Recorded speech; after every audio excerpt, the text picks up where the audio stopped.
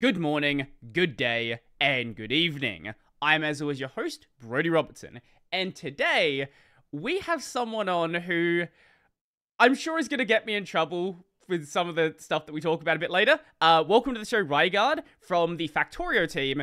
Uh, you may recognize him from the article that I talked about a few weeks ago, where he was talking about improving support for Wayland but he's also been involved in Factorio modding. That is what he did before he was working there. And if you go to his GitHub, you will find his dot files uh, repo, and he's very clearly a Linux user. If you look at some of the applications he has in the dot files repo.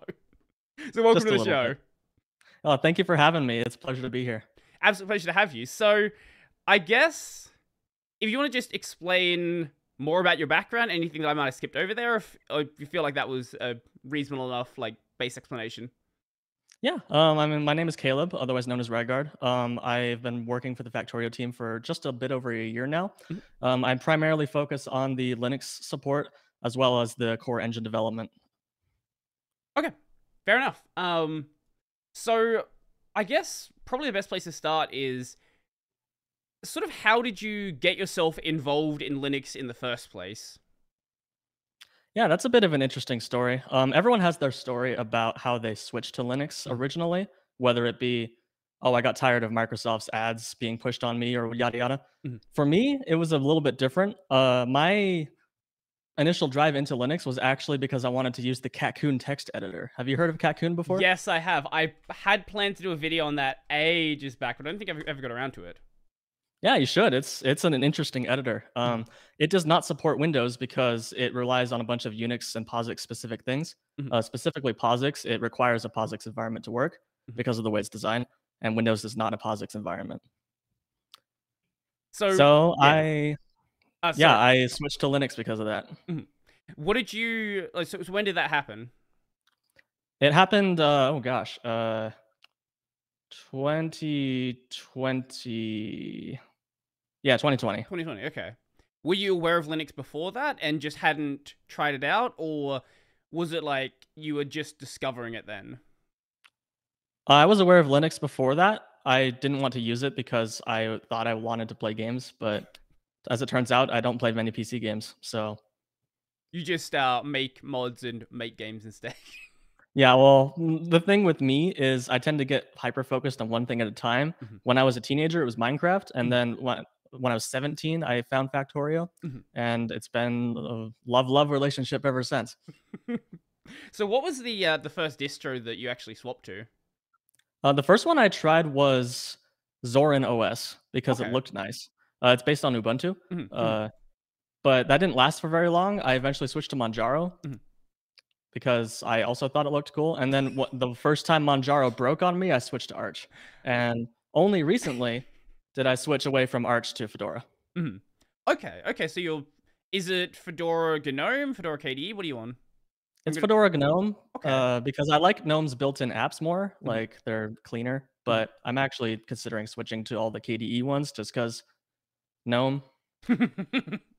so well, not yeah, yeah. I I we're definitely to get more into that a bit later, but I do want to say that I do like the polish that GNOME has. I, I think their app UX is really nice. Yes. And I think the desktop is really well polished. It's the problem is the the stuff that's like not present that is the issue. Precisely. I love the way I love the theme that they have going on. Mm-hmm. Uh but I don't like how restrictive it is. So yeah. like I use Sway myself and the GNOME app's kind of there's a lot of jank around that that I have I have to like have a script that imports all the GTK settings because it doesn't work properly, right. stuff like that. Mm-hmm. So you mentioned that you swapped because of uh, Kakoune. How did you even become aware of that application then if you were a Windows user? Was it like a random YouTube video you saw or? I think it was a shoot, what's his name? I can't remember the guy's name. There was a YouTube video I saw about Kakoune. Uh, I I feel bad for oh DistroTube. Oh, oh, okay. Uh, DistroTube four years ago made. Oh yeah, I guess that lines up. Four years ago, he mm-hmm. made a video about Kakoune, mm-hmm. And I'd been interested in Linux for a while, but I really wanted to try this weird text editor. So mm-hmm. I said, well, may as well jump ship. Well, on that note, then, are you actually still using Kakoune, or do you use something else? Every okay. day. Okay. Yeah, I okay. use it for work. Hmm. I I think you were the first Kakoune user I've actually run across. There's not many of us. The Discord server has like 200 people in it. Mm. Okay, what actually sold you on that then? Because I, I kind of want to hear more about this text editor. The tagline of it is it's Vim but backwards. So in Vim you have CIW for change inside word or change around word, yada yada. Mm-hmm. You have the verb and then noun. Mm-hmm. Kakoune is the other way around. You have the noun and then verb. So you can essentially think of it as Vim but always in visual mode. Okay. So instead of CIW, you do Alt I W C. Okay, okay. Huh. And what that allows you to do is it allows you to refine your selection before you commit to changing something. Mm-hmm. So, for example, you can select the whole document, then you can press S, which uh, selects sub selections within your selection. So you can type like S and then search for all occurrences of the the word, mm-hmm. and then you hit enter, and then you can change those. Mm-hmm. But if that's not exactly what you wanted, you can undo your selection and do something else, and it's all very visual and interactive. Mm-hmm. mm-hmm. So, what sort of language interaction like tooling exists around Kakoune because I know like Vim's been really developed for a long time. You can get a lot of nice things working, but I don't actually know what the ecosystem around Kakoune is like. The Kakoune ecosystem is not nearly as big as you might imagine. Uh, it's very niche. Mm-hmm. Uh, there is a very well-made LSP integration, mm-hmm. which is pretty much all I need. I so I use the Kakoune, I use the LSP. There's mm-hmm. also a bunch of other things. Uh, if you've heard of the Primeagen's Harpoon plugin, for NeoVim. Mm-hmm.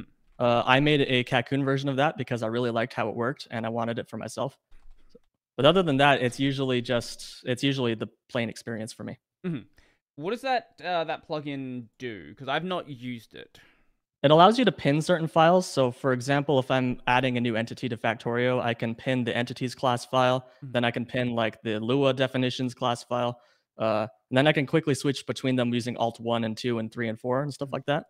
So it's it just lets you pin certain buffers to a, a, convenient hotkey so you can get back to where you were originally after you go through a long go to definition chain. Mm-hmm. Huh.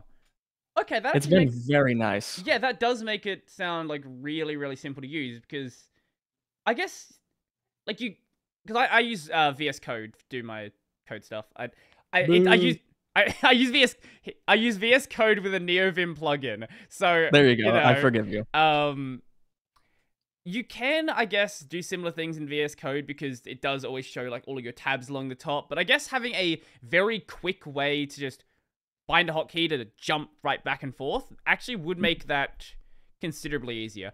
I've always felt like I should properly sit down and actually learn NeoVim. Like I I I know the basics of it, and I feel more comfortable when I'm editing in NeoVim, but I don't really use a lot of the additional functionality, and I guess that's part of the reason why I never properly sat down and used Kakoune either. Like, I don't know. I, I, I totally get it. I see people who are really big on editors like this or like Emacs who have everything down to individual hotkeys and know exactly what they need to press to do every single operation, and it seems more efficient. It's just a matter of, you know, getting to the point where you don't have to think about any of the syntax. It's like, you know, when you get really familiar with a language, right? Where you're like a programming language, where you're no longer looking up what does this function mean? What does this function take as arguments? How do I use this? What what is this library? What is that library? You have a innate understanding of how all these pieces fit together, and you can just hack on it and not really think about it. And I'm sure when you get an editor to that state as well, it just becomes second nature for anything you want to do. Precisely. The whole idea is to decrease the amount of friction between your brain and the code. Mm-hmm.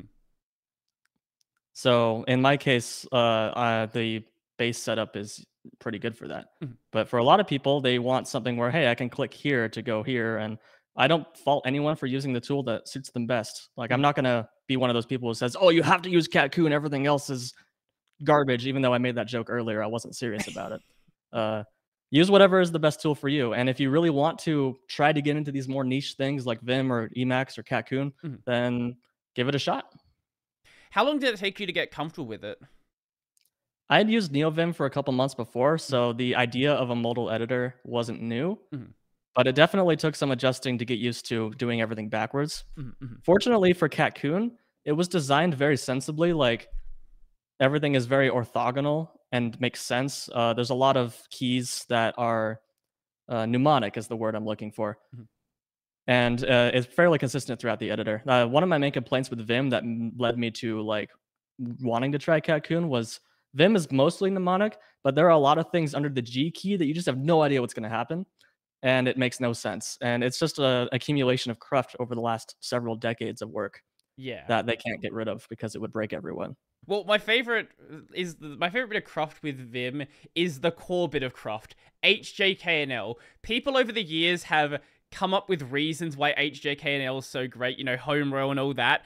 But the original reason for it is because of the keyboard that Vi was uh, was initially was it no before Vi. No, no, no, it was Vi. Okay, I'll, yeah, Vi is the reason why the hotkeys exist, not EX or ED. Yeah. So Vi was made on a keyboard where the arrow keys were an alt key on HJKNL. And that's the reason why it's there, because it made sense on that keyboard, but people are just used to that now. That is the thing that you use Vim for. You know, everyone knows Vim, HJKNL, and there's not really a reason to change it now that people have got these other reasons around it. But I guess that makes sense with the mnemonics as well, where you have the core mnemonics that make sense, you know, change, you know, things like that. But yeah, at some point you run out of keys to do mnemonics, so it's kind of just like you have to fit them in there where they wherever you can get them. Yeah, precisely. On another note, I just looked at my Kakoune hmm. configuration mm. and I just realized it's a thousand lines long. So I guess I'm not using the vanilla after all. There's a lot of plugins in here I forgot I had. I guess that's. A... I need to do a rewrite. I guess. Would you actually use the plugins, or do you not even remember what they what they were? Oh no! Now that I'm looking through them, I forgot that they weren't a part of the editor. Ah, okay. Like there's auto pairs is not built into the editor, hmm. but I have it. Oh, okay. Yeah stuff like that. Yeah, that's one. But yeah, the... it's. Oh, go ahead. I, I was gonna say that's that's one of the reasons why it's always. I I always question whether or not you should use one of these like NeoVim distributions where you know they'll include a bunch of additional plugins, a bunch of different configurations by default, rather than starting from something from scratch and then building up from there. Because if you are starting with a big distribution, it can be hard to differentiate what is NeoVim, or in Kakoune's case, what is Kakoune, and what is something additional added to it. And there's nothing wrong with using additional things. I use plugins when I was using NeoVim fairly actively.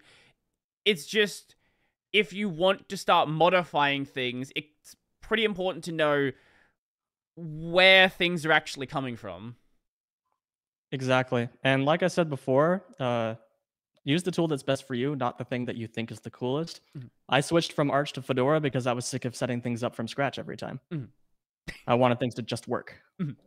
That is a, you know, that's a fair enough reason. I, I get that. That said, I still uninstall, like, I don't uninstall GNOME, but I disable it and switch to Sway instead because I just can't live without Sway anymore. yeah. Okay, that's fair enough. So, when did you say you got into Factorio? A Factorio, I got into in 2017. It was right after a pretty major alpha release. Mm-hmm. Uh, the story there is all of my older brothers, mm-hmm. I have five of them, were into Factorio at the mm-hmm. time, and they were doing a LAN party for this new release. And I was looking at them and I said, Imagine this looks like a fun game. Mm-hmm. So they went and downloaded one of the DRM free copies from our website and put it on my computer, and I mm-hmm. joined their LAN game and played it for way too long. Mm-hmm. That was how I got into the game. So for anyone who is unaware of what Factorio is, um, I guess just briefly explain it and like what what the goal is in the game.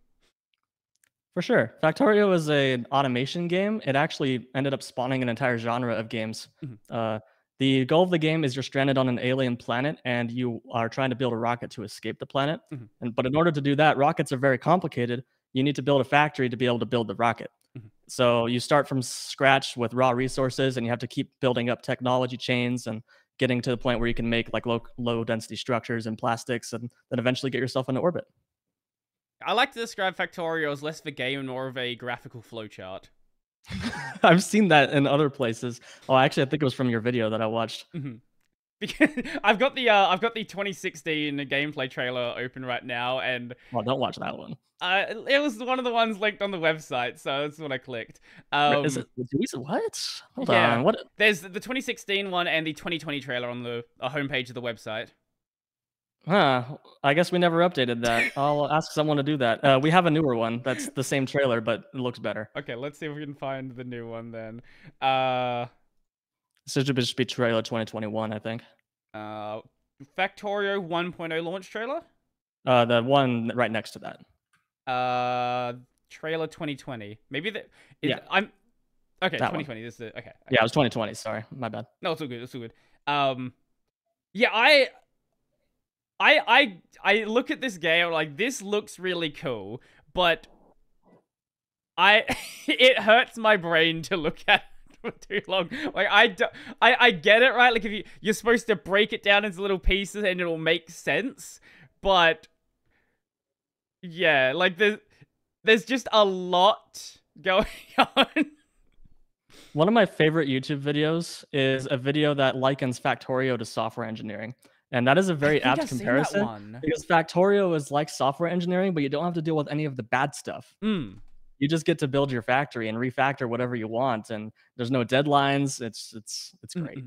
Yeah, Factorio teaches you software engineering. Seriously, I think that's the video you're talking about.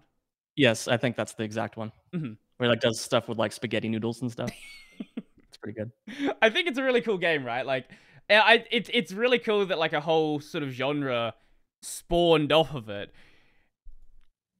Yeah, it's incredible. I get it, right? Like I I get it's not my my kind of game. I think it's really cool. well, I mean, we have a free demo, so if anyone's interested in trying it out, uh, we can find it on our website. Mm-hmm. Maybe I'll actually sit down and properly try to learn the game at some point.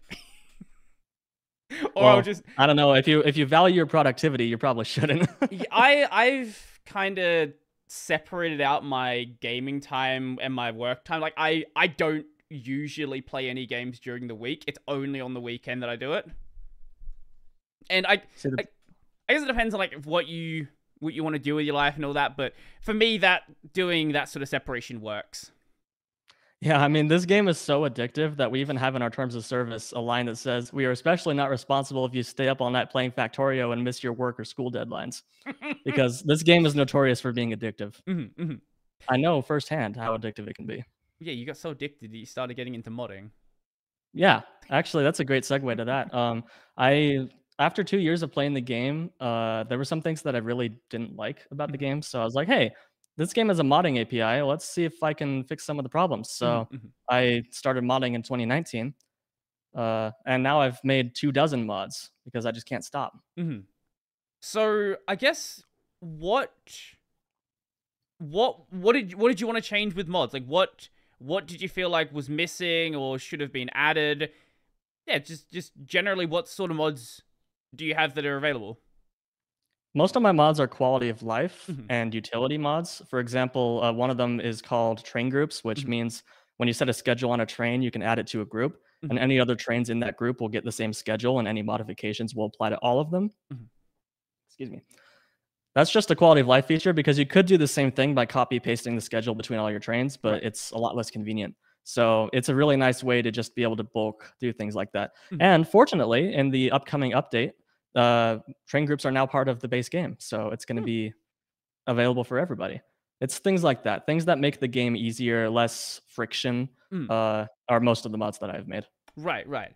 I'm seeing things in here like uh, one from three years ago: better alert arrows, cursor enhancements, task lists, uh, pipe visualizer, a, a stat GUI. Is is is there still another stat GUI in the game? Because that seems like a pretty uh, we haven't added anything like that. No, okay. uh, you can get the you can get the uh, same information through the console, like mm. just slash evolution or something oh, like that. Okay. But this just makes it available all the time. Okay. So yeah, I, yeah, it's pretty much just all like making it. it I, I don't know if I'd say the easier is the correct like way I would describe, it, but definitely less friction for sure.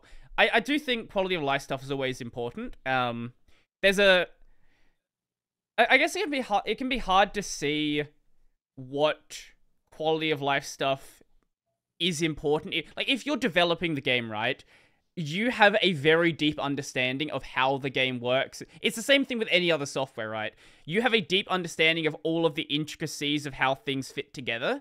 So it can be kind of hard to see where the rough edges are because you know to avoid those rough edges just innately because you know you are so familiar with the code base. So it's all it, it it's always useful to have someone who at that time I guess you were outside of the uh, development of the game who mm. can sort of see it from a different perspective. Yeah, for sure. Uh, that's been a really great boon for having such a good modding integration. Mm-hmm.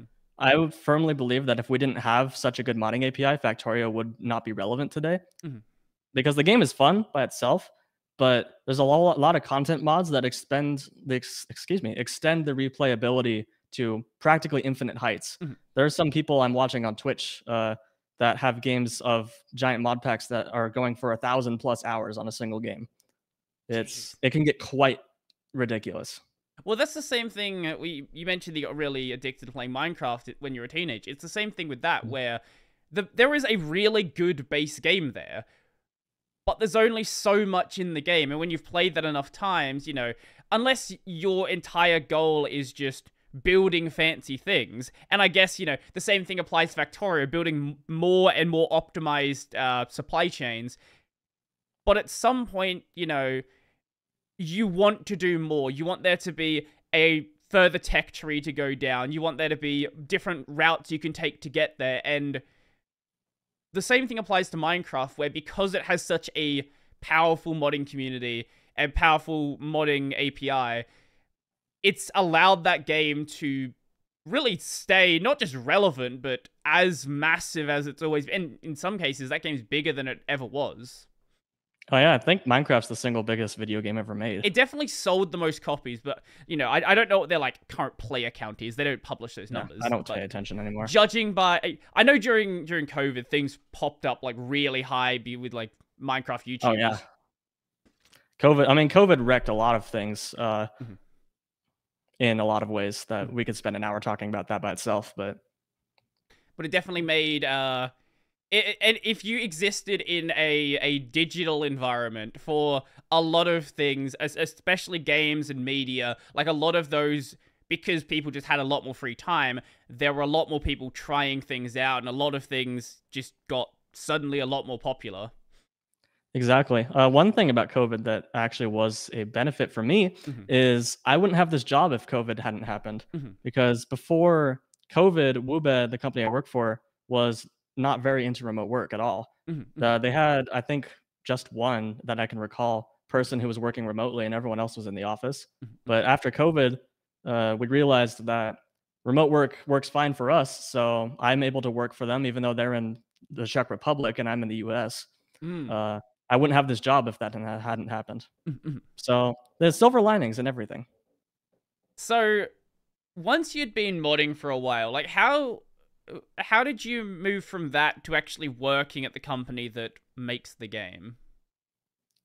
About nine months after I started modding, I actually applied to get access to the Factorio source code. Mm-hmm. This is a program that they offer where if someone has good enough reasons and uh, enough interest, they can gain access to the source code mm-hmm. and uh, be able to contribute things. Mm-hmm. Uh, not very many people get it because you have to have pretty good reasons. Mm-hmm. But I said, hey, I'm here. I've made these mods. I want to add more modding features so I can make better mods. May I have access to the source code? And they said yes.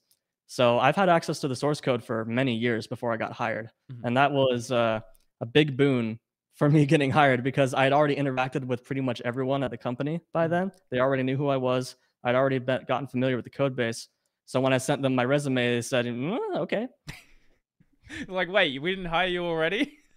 yeah. Uh, that's another interesting story. My reason for applying to the company was because their Linux developer had left. There was one person that was openly the Linux guy mm-hmm. who did all the Linux support stuff for many years, mm-hmm. but he eventually left the company to do other things.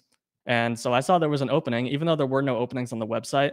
I knew that they were lacking a Linux guy, and I didn't want the Linux support to go by the wayside. So that's why I sent in my application. Mm-hmm. So how long had they been without like a Linux developer, or was it just like basically right after that guy had left. It wasn't right after. I think they were without a Linux developer for a year, but don't quote me on that. I don't remember exactly when the previous guy left, but mm-hmm. it was definitely in the back of my mind that whole time. Mm-hmm. I think the main reason I didn't do it immediately was because of imposter syndrome. Sure. And to be perfectly frank, I still suffer from imposter syndrome. Mm-hmm. So, yeah, it took a little bit. So during that period where they didn't have a Linux developer, were things starting to slide, or like what was what was happening, or is if there's things you can't say, obviously, like yeah, you, you can ignore that. Oh no, we're fine. Um, things weren't necessarily sliding, but as you know, uh, Linux is going through quite a bit of a revolution in recent years with Wayland and Pipewire and uh, all the other things that are starting to finally become good enough to use for everyone. Mm-hmm. Uh, but Factorio didn't have a dedicated guy who could go through and actually make sure all of these things were supported. Mm-hmm. So that's why I wanted to do it because I have a laptop that has fractional scaling on its screen, and I couldn't play Factorio because, on it without uh, turning the screen scaling down because it would be blurry. Right, right.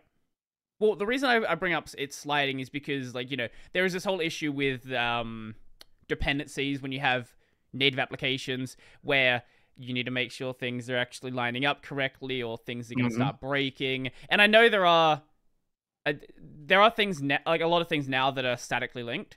Um, but you know, th- there's always going to be some additional issues that happen just because you're making a native application.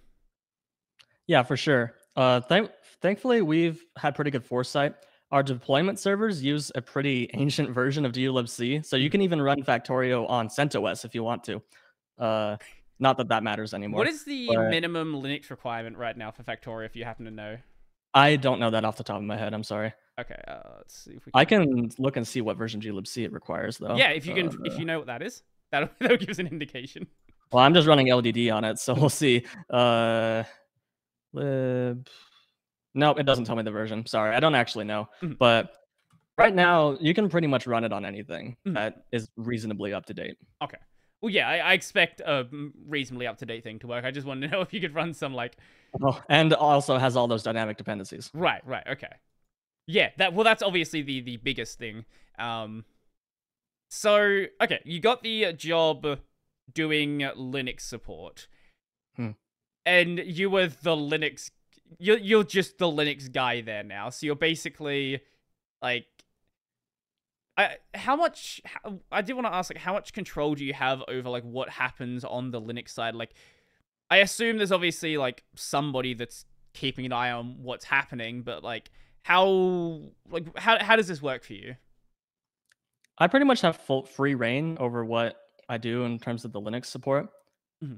obviously we do have some sort of organizational method uh, we have a big Trello board where we have all the tasks we need to do uh, and I'm expected to be working on those tasks. But mm. One thing, I think my favorite thing about working at this company is we're also encouraged to work on anything we see fit for the benefit of the game. Mm-hmm, mm-hmm. So for me, that includes the Linux support. Uh, so I am able to dedicate time to that whenever I want, basically. Mm-hmm. So is Linux support your main role, or is that just one of your additional roles?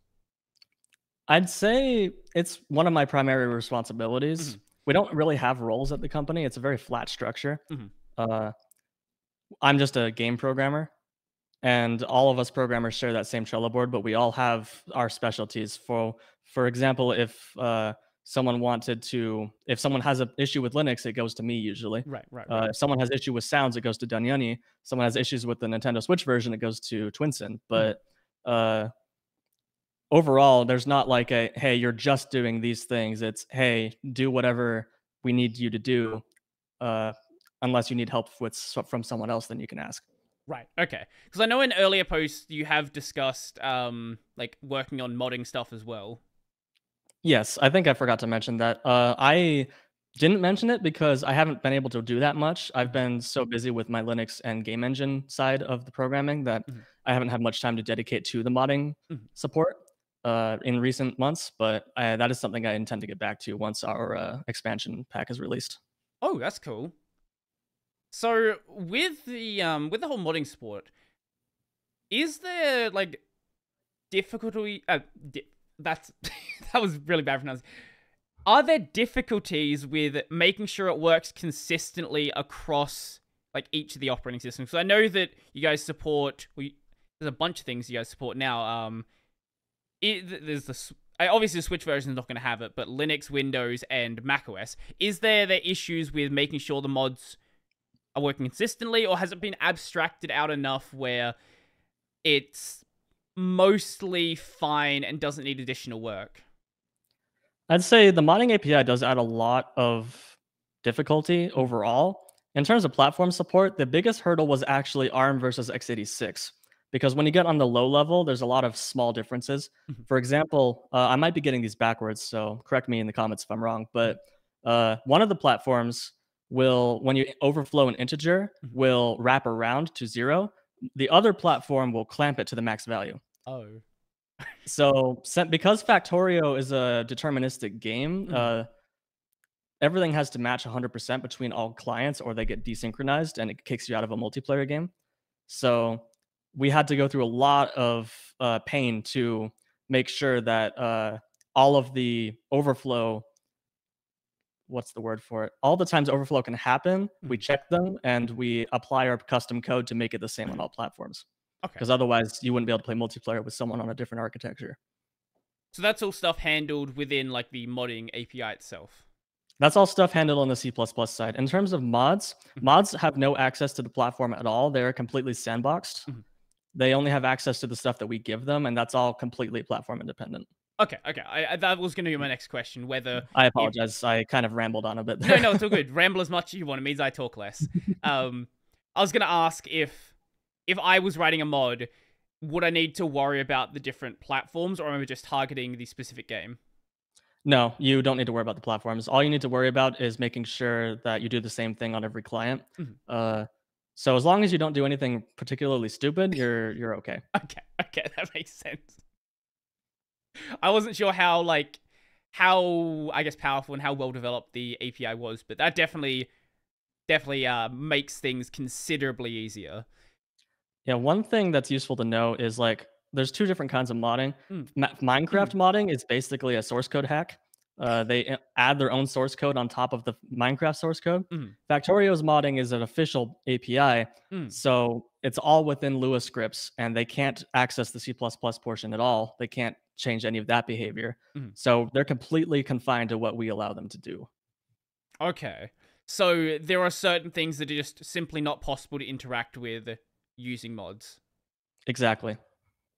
I guess that makes it a lot easier to ensure that multiplayer functions correctly then. Yes, because with Minecraft, mods can do whatever they want. So if someone writes a mod that r- removes everything on your hard drive, then nothing you can do about it. Mm-hmm. But the Factorio, we just don't give you access to the hard disk. You can only require other Lua files. You can't even read like static text files or anything. That's mm-hmm. all mm-hmm. completely not accessible to you. Actually, speaking of Lua, this is random tangent, but I do want to bring it up because it is cool every time I remember it. Um, with uh, with Supergiant's games, all of their Lua scripts are just available in the uh, directory for their game, so you can just like read all of those, modify it. Like it makes modding that game incredibly easy. Yeah, that's the same with us. All of the Lua scripts are packaged with the game, mm-hmm. but they're not obfuscated in any way. Okay. Do you does that mean including whatever source co- uh, um uh, ever whatever comments are in there because that's always fun to have a, yes. have a read of. Okay. I don't think we have many. Mm-hmm. Uh, actually, there's one particular one. We have a we have a utility function in the core Lua library that uh, has no purpose. So someone wrote a comment above it at some point that says, "But why?" I think it's my favorite comment in the code base. It's always fun to see like whatever internal discussions have been happening because they just didn't strip any of that stuff out. Yeah. Like the the Linux kernel is a, a good example of this. There is a website where uh it you can search for the use of specific terms over the years and you'll see like the if you search terms like fuck or shit, like there'll be spikes at certain points oh, have you seen the like Half Life uh, source code comments video? No, I haven't. That's the the watching the dwindling sanity of Half Life developers or something like that through their source code comments. It is an amazing video. I'll definitely have to have to check that one out. Um, Also, I just found that function I was talking about, and I actually was wrong. It's not a comment, it's a log message. So every time someone uses this function, it puts into the game's log, but why? That's even better. It's uh, even better. There's a um was it? Is it is it the fast? Yeah fast fast fast inverse square root that uh yeah, fast inverse yeah where they've got part of it like the part of the like known function is just commented out as second iteration this can be removed. Like why does this number exist? What does this do? Yeah i, I think i remembered exactly. Uh, tell me how close i am. It's uh uh evil floating point bit hack and then what the fuck yeah uh bit level awesome. hacking and then what the fuck and then oh, there's okay. some weird math float I don't even know what's going on here. Then first iteration and second iteration, this can be removed, and that's commented out. yep, that's classic classic software development right there. Mm-hmm, mm-hmm. Yeah. it's as I said, it's fun to be able to see like what's going on here. Like it, it gives you a little bit of um insight into things. I think a lot of people a, a lot of people like to take themselves a little bit too seriously, right? Like there's all it's it's nice to have a bit of fun with it and it like yeah, we're trying to make something good, we're trying to make it all work, but you know, the people making it are people and sometimes they you know are annoyed with something sometimes they have something funny to say so it's always it's always nice to get a bit of insight into like what's going on there yeah, uh, that is something that I emphasized a while back as well in, in our community is mm-hmm. uh, we are just people. We try our best, but at the end of the day, there's only so much we can do. Mm-hmm, mm-hmm. And sometimes we take out our frustration in our comments. Mm-hmm. so, um, with the whole Linux support thing, when you first got started there, like, what did you, what, how, you had access to the source code already, obviously, but had you looked at the Linux support before then, or were you just from that point considering, okay, you know, what can be improved here? I didn't do much snooping around before I got the job. Mm-hmm. Uh, that's actually a bit of an interesting fact is I didn't really know that much C++ when I got this job. Mm-hmm, mm-hmm. I learned a lot on the job. Uh, and that's part of why I still struggle with imposter syndrome. But uh, I didn't do much snooping around the Linux code because I didn't really know how much of it worked. I didn't know what was required. Mm-hmm. The important thing is that they told me was they didn't have anybody that was willing to spend time on it. Right. The best part about being a developer, or the the primary thing about being a software developer, is you don't know everything. You go read the documentation and figure it out, or you use Google, or you use an AI, or mm-hmm. a combination of the above to help you with writing your code. Mm-hmm. And uh, that's a reality that a lot of people don't realize until they actually get a software development job. Mm-hmm. Is in university you're not allowed to use Google. On the job you use it all the time. Mm-hmm. mm-hmm.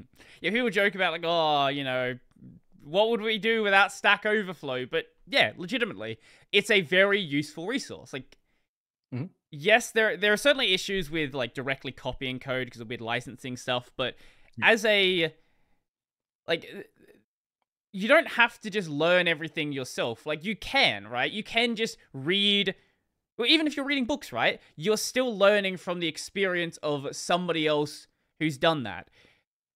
Most people are not just going at a language and then blindly just writing things until it works. You're going to build off of what other people know, what other people have done before, and hopefully give yourself a quicker head start than the people that came before you.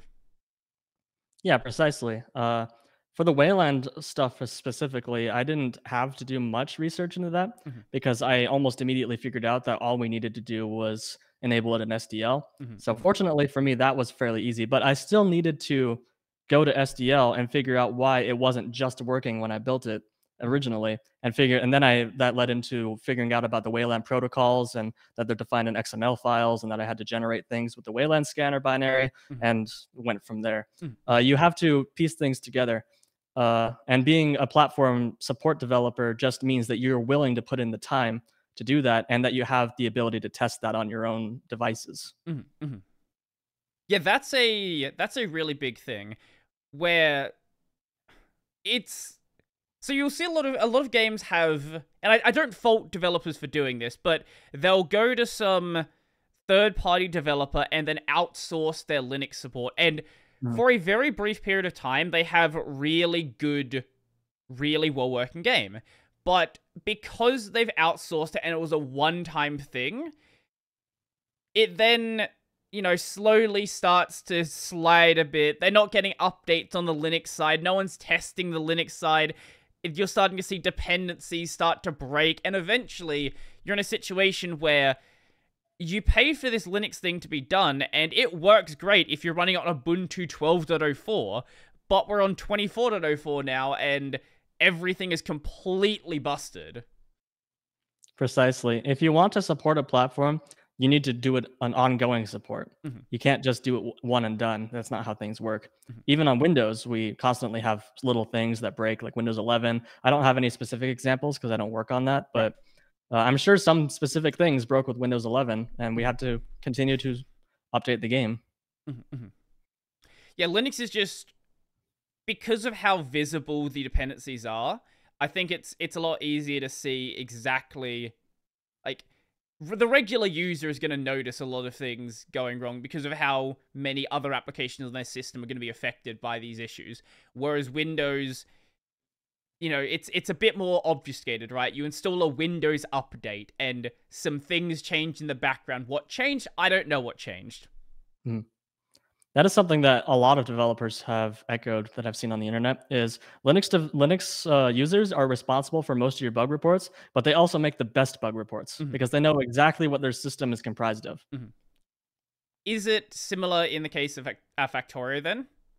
Yes. Okay. Uh, there's some bug reports. I actually have quite quite the stack of Linux bugs that I'm mm-hmm. sitting on that I need to fix, but uh, I need to get back to that uh, fairly soon. Mm-hmm but all of them are usually like hey here's my here's my distro here's my desktop environment here's any weird garbage glibc versions i'm using.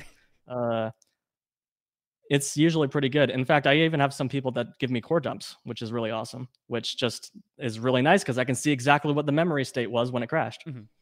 yeah that's I, I, guess because it, linux users are just more used to having to make a bug report Hmm. Most people have probably made at least a couple here and there. Even if they haven't, they have probably seen a couple and have an understanding of what like what sort of stuff that you would be looking for from it. I assume you guys have some sort of I like I don't know what your bug reporting system looks like to like to the user who's reporting, but I assume there's some sort of like specific text boxes for each section you want to be filled out. Actually, no. Okay. Uh, all of our bug reports are done on our forums. And there's a bug report section and they just create a post and okay. there's some bug report guidelines that they have to follow but there's no like hard coded template that they need to do or anything uh, okay. sometimes i wish there was but it, there's not right okay okay so they're just not looking at the existing bug reports and it kind of just whatever whatever happens happens i guess yeah there's a lot of manual maintenance of that forum that has to happen mm-hmm, mm-hmm. yeah and i'm sure with um with the Linux people, if you do ask them for additional information, it's probably a, a lot more of them are going to be familiar with how to get that information, like without having to be explicitly told, as opposed to on the Windows bug reports where, again, most people just have never even considered having to add additional information. They they might get a pop up on some piece of software where their application crashes, and it's like, what went wrong with the program? And you're like, I clicked this and it broke, and that's pretty much like what you you'll get. I'm sure there are, I, I'm I'm sure there are people on the Windows side who are writing good bug reports, but I I can't imagine it's most of them. Yeah, I mean Windows doesn't really help you because you get a blue screen. It just says, "Ah, oh, snap! Something went wrong.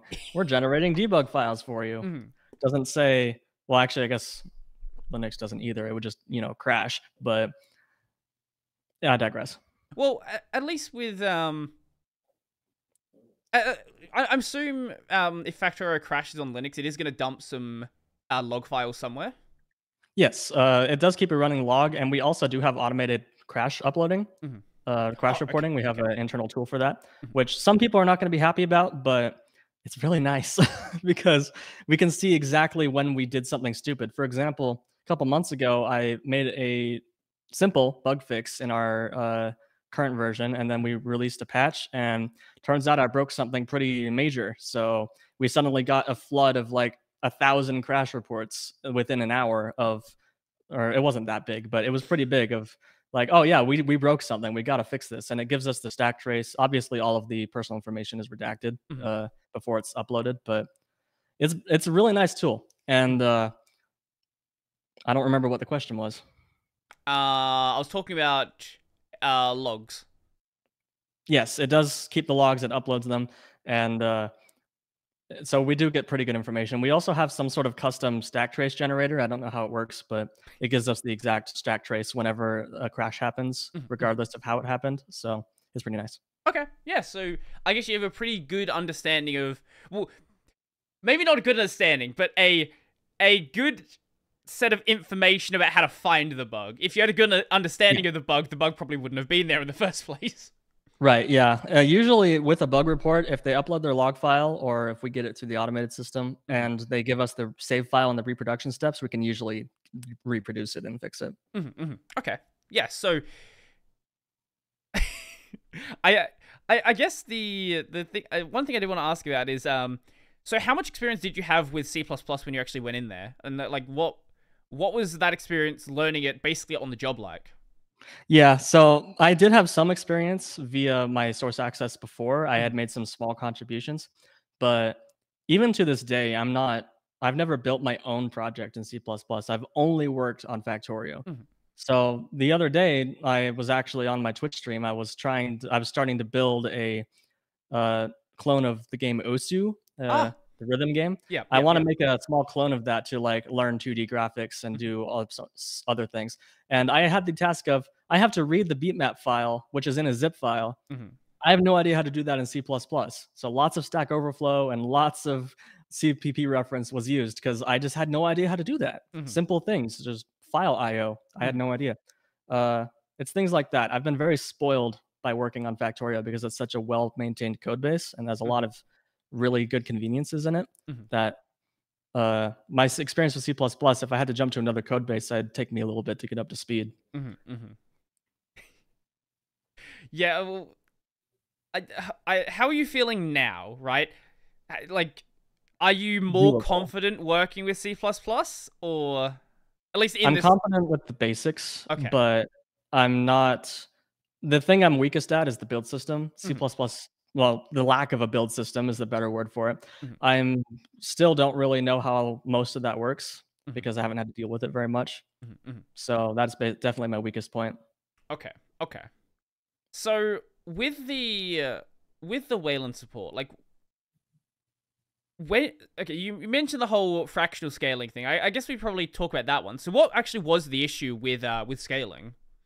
Yeah. Uh, on when you run something on X Wayland, at least on Sway, I don't know if this is true on KDE or GNOME. Mm-hmm. Uh, if you have fractional scaling enabled and you run something in X Wayland, it doesn't actually scale. It all it does is it blows up the window, so it's at the lower resolution as if it was 1.0 scaled, mm-hmm. mm-hmm. and it looks terrible. So the reason, the main reason I wanted to support Wayland and Factorio was so I could play it on my laptop at the 1.25 scale mm-hmm. and not have it be blurry.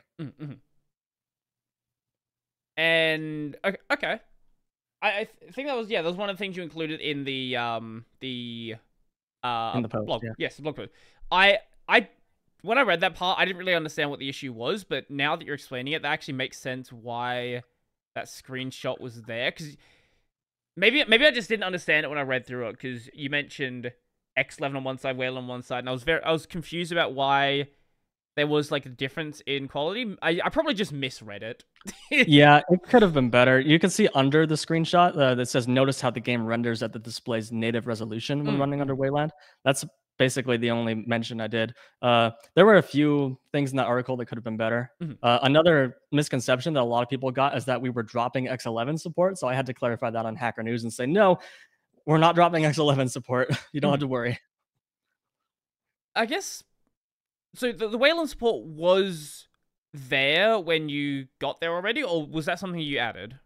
No, I added that. Okay. Uh, SDL supports Wayland, uh, but our build system was not set up to build it with Wayland support. So that okay. was my first task was to get SDL building with Wayland support. So why did you actually feel the need to add the Wayland support instead of, you know, because most games, because most games are just running through Proton, they're still using X Wayland even if they're running under Wayland.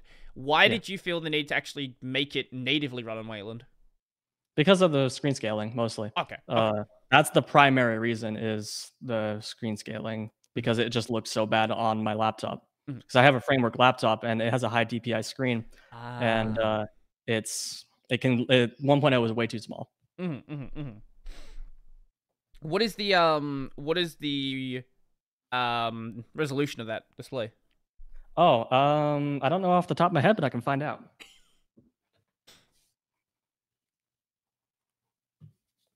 It's pretty big. It's like almost it's like 1.5 times bigger than 1080p. Hold on. So like 1440p then? Uh, it is uh, 2256 by 1504. Oh, I forgot it has a 16 by. T- is it 16 by 10 display? It's a it's a three by two. Oh, so okay. That so it has, it's like 1440p, but it's slightly bigger than that. Uh, right. Okay. Okay. But it's a really tiny 13 inch laptop, so it's a pretty ah. high density there. Yep. Yep. Yep. Okay, that makes that makes sense. And why you definitely the scaling. Um, yeah. Well, yeah. Even honestly, even I would need probably need the scaling at that. I think anything 13 inches, like 1080p, is is already kind of rough, but anything more than that, and yeah, like if you get yourself like a 4K 13 inch laptop, like like you're just gonna run it at 4x scale. Yeah, maybe not. Oh no, that's two x because it's two times each dimension, and then it's four times total. Sure. Okay, yeah, yeah. I always forget that too, but I I make a point. But uh, yeah, it's uh not usable at 1.0. So I really wanted to be able to play Factorio on my laptop. Mm-hmm. And considering how much like little like elements there are on the screen, I guess like having that blurriness would just make it really unpleasant. It wasn't unusable, and the game was perfectly playable that mm-hmm. way. I'm just very particular, and I want things to look pretty. Sure, yeah. If if you want the game, you just want the game to look how the game should look instead of looking like you're looking through like a a blurry a, a, a dirty shower screen or something. right. Yeah. And aside from that, it's also just because, you know, Wayland, whether or not people like it, Wayland is the future. Mm-hmm. So if we want to continue our ongoing Linux support, we need to support Wayland mm-hmm. because mm-hmm. that's just the way Linux is going these days. Mm-hmm. mm-hmm. Yeah, it is. It, it it's going in that direction. How going. long it's gonna take? Maybe maybe we're the tortoise instead of the hare, but it's going. Yeah. Well, I'll often hear people say things like, "Oh, how is Wayland not ready? It's been getting developed for 15 years, but X11 started in 1984. I want to say 84. Um, you were correct. Yes. No. Now I remember what. Yeah. I I keep saying every time. every time I think of the um the year it started, literally 1984. I, I just yeah. X started in 1984. X11 was 1987. I just googled it. ah, right, right, right. Okay. Yes, yes, yes. So. It, you, it, you got it. It's taken a bit of time to get here. Like one of the things that people take for granted nowadays with X11 is the ability to hot plug monitors because that wasn't a thing when, like, b- before. I think Xorg is sometime in, in the Xorg life, I believe, or maybe it was late XFree86, but in the 90s, you couldn't hot plug monitors on X11. You had hmm. to plug the display in, change your config, reload Xorg, and then your display is going to work. That's incredible. And that's if you don't light your display on fire by including some weird settings that would break your CRT. Right. Yeah. Because back in the good old days, when everything was a lot more manual. Yeah. You mentioned the uh, whole source code editing with Minecraft. Um, you don't want to have that level of, of control over an electronic. Yeah, hey, uh, faster frame rate hack. Here you go. Run this script that you downloaded. Wait, there wasn't an internet yet, but uh, run this script that I gave you on this on this floppy disk, and and then it just catches fire. Yeah, yeah. Luckily, uh, nowadays, um, you can't most of the there's like weird very weird edge cases on badly made displays where you can damage things but most things it's just gonna black screen for a bit, and then we're like, "Hey, you're stupid. Don't change. Don't don't do that setting." Yeah, there's actually one time uh, on the laptop I had before this one, which was an old Dell one I got from my last job. Uh, there was a kernel bug mm-hmm. that was introduced that made the display after I woke up from suspend on my laptop, the display would flash black, white, and then black, and then it would like flicker and do all sorts of crazy things. Mm-hmm. Turns out that it was the bug was such that if you let that go on for long enough, it would kill the screen. Oh, there was something like display synchronization, low level, really low level stuff was going horribly wrong, and it mm-hmm. was putting a lot of stress on the display hardware. Mm-hmm. So, uh, yeah, I had to roll back to a previous kernel to fix it. Mm-hmm. mm-hmm. So I didn't ask before, but with your system, do you have an AMD or an NVIDIA GPU? Uh, right now, I am running an AMD GPU. Okay. And I will forever because NVIDIA on Linux, just no. Uh, when I first switched to Linux, I had an RTX 2060 Ti, mm-hmm. uh, and I tried for a year, like a straight year. I was on X11. Mm-hmm. I tried everything under the sun, could not remove screen tearing. It just I could not make it work. And back then, NVIDIA and Wayland just didn't work at all. So I said, I'm going to buy an AMD GPU because I don't want to deal with screen tearing anymore. Mm-hmm. And I want to go onto Wayland. And I just can't do that with this card. Mm-hmm. So it was it was uh, AMD from then on. Yeah, with the, the screen tearing thing, there was a I don't know if it worked well, but I think there was a way to make it happen with NVIDIA um, AMD, there is explicitly a setting in X11. Uh, it's something like, like force composition pipeline. I yeah, think. yeah, something like, like that. that. Um, it works. At least from my experience, it was working quite well uh, with the AMD GPU on X11. Um, have you guys had any uh, like NVIDIA specific bug reports with uh, with Linux then? Um, not that I know. Of. Oh, actually, there were some that I hmm. can remember. Uh, I don't have the details in front of me, okay. but there were some people who were saying, "Hey, the game won't even start," and it was Nvidia and Wayland, and I said, "Oh, you're just out of luck right now. Sorry, it's not our fault." Uh, ironically enough, we actually get more problems on AMD cards because apparently AMD's OpenGL drivers are just complete garbage. Uh, so we get a lot of weird one-off errors that we just can't fix mm-hmm. because mm-hmm. the AMD's OpenGL drivers are questionable. Mm-hmm. Uh, the solution to that is to switch to Vulkan, but that's a whole thing in itself. Yeah, I like. I, I, I don't really have an experience doing graphics development at that level. I've done some like basic game development stuff in Unity, but that's that's pretty much it. So, if you guys wanted to add Vulkan support, like what would what would that actually entail? I know like graphics isn't like your your main thing, but um, if there's anything you can explain there, that'll be that'll be awesome. Yeah, so we have an abstraction over graphics backends because we support DirectX and OpenGL. Mm-hmm. So we have a, we have an interface that abstracts over both of them, and then we have implementations for each. Mm-hmm. So we would just have to write the implementation for Vulkan. But as you might have heard online, Vulkan is significantly more difficult to work with than any other graphics library, and that's because it was significantly lower level. So it would be a lot of dedicated developer time, and then we have the ongoing cost of fixing bugs and stuff. Uh, mm-hmm. We just haven't we just uh, haven't uh, done that yet at this mm-hmm. point. So it's just a matter of, uh, well, it's not just a matter of adding it. It's also a matter of then making sure that as you add additional things, the three different backends also. I assume there's a different backend on the macOS side. No, actually, macOS uses OpenGL. Okay, okay. Even though it's going to become a problem because macOS doesn't support it anymore. Well, they haven't and properly supported it for a long time, but they they still have it. That's they still have it, but they don't update it anymore, right. as, as, far as I know. Uh, so we're stuck on an old OpenGL version. Mm-hmm. Okay, so yeah, what I was, what I was going to say there is, it's not just a matter of adding it and making sure it works well. It's making sure that all of them work consistently. You don't have weird graphical bugs as you add new things in. Right, and like even though we have our good Linux support, the vast majority of our players on Windows, and they're going to be using DirectX.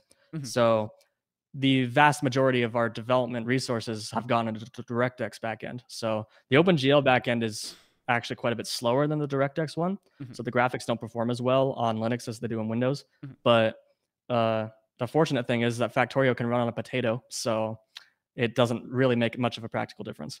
Yeah, that is a nice thing about having a a fairly light art style. It's obvious. You like, say that, but you'd be surprised how much work goes into it.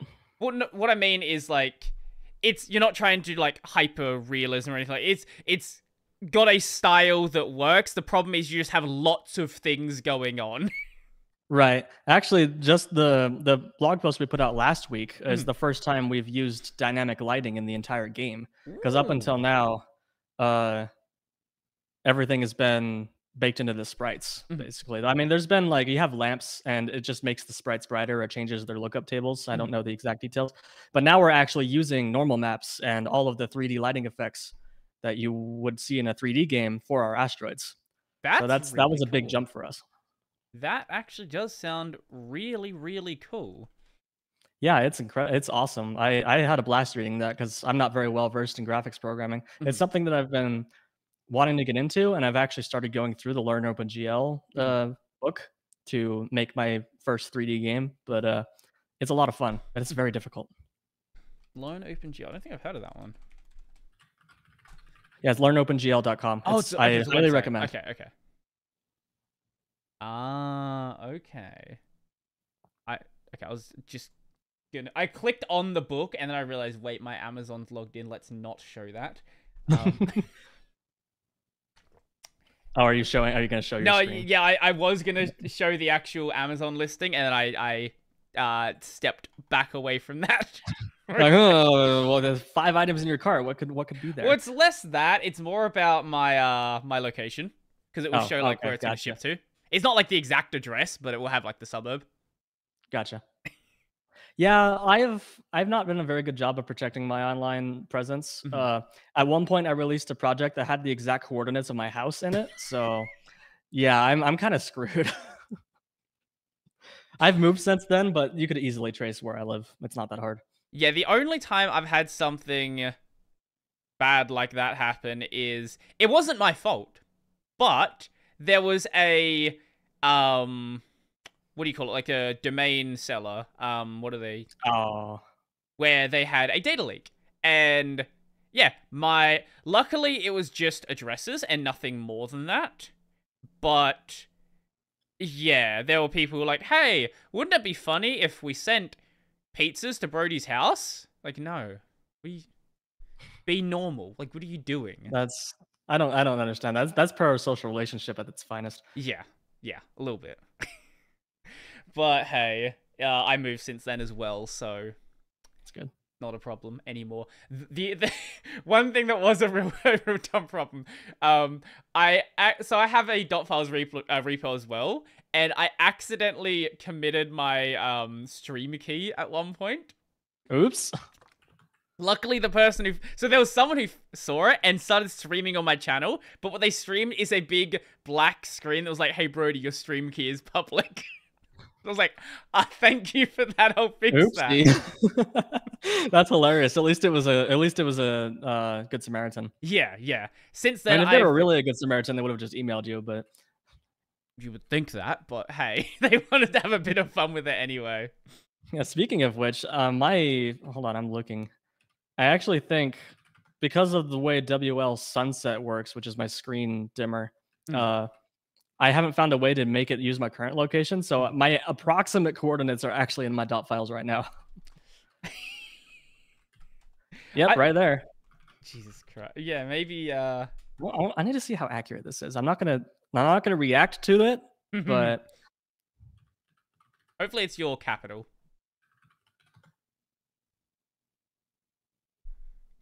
Oh, thanks, Google, for removing the minus.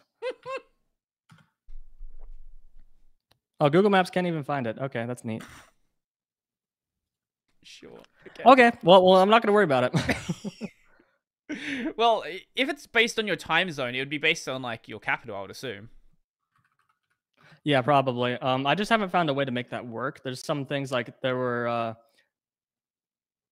what was it called? There was some um, like geolocation interface that should work, but I could never get it to run, and I just gave up at some point, just hard coded it. I used to heavily use a uh, a screen dimmer like back when I was on Windows, but I don't know. I just when I swapped to Linux, I just never bothered to set something up. And there are obviously there are things that do work on Wayland depending on the specific like backend you're using. I just I just just didn't really care to use it for whatever reason. Hmm. Yeah, I'm sorry. I'm a bit distracted. I'm, I'm by trying to figure out where these coordinates point, but I can't. Uh, whatever. That's I'll do it later. So good. So good. I think I said it to the state capital, but I don't know. Mm-hmm. I, I I don't know how to segue from that. Neither do I. Uh, we've talked about Waylands. Uh, oh, there's some other things we could talk about there. Uh, there's something that I wanted to talk about in the blog post mm. that I didn't have room or time for. Mm-hmm. Uh, there's been some interesting bugs due to the way Wayland is implemented. So, Wayland, when a screen or sorry, when a window is obscured, mm-hmm. it lowers the, the rate at which it can submit frames. So when your Factorio is full screen on your monitor, uh, it's 60 frames a second, no problem. But as soon as you switch to another Sway workspace, it throttles it to 20 frames a second. And that's only because SDL implemented a workaround to make that work. Uh, hmm. Otherwise, it would throttle it like I don't know how low it goes, like one a second, but it just it, it's for power consumption reasons. Yeah, yeah. Uh, and obviously, in our game, our game is single. Th- well, it's not single threaded, but the main update loop has to wait for the render to finish before it can keep processing the rest of the game. So that's caused problems. If you're on a multiplayer server and you switch away from the game, you'll get dropped mm-hmm, mm-hmm. because you start falling behind. It's really annoying. Fortunately, there is a fix in the works for that, but it's taking several years, and yeah, it's been it's been quite a journey to wait for that fix. I didn't realize that happened. Uh, is that wait? Yeah, yeah it's I, uh, I because I the, I the, let me just think of what I'm trying to say. Um, because when I, I have OBS open, I guess I would have always had it on a secondary screen, but it would still be visible. Huh. I know that KDE does that. I didn't know Sway did that as well. Yeah, it's a fundamental Wayland thing. Any Wayland compositor will throttle windows that you can't see. I, I don't know how some get around it. I yeah, think I they don't use remember Hyprland like doing that, but maybe I'm misremembering.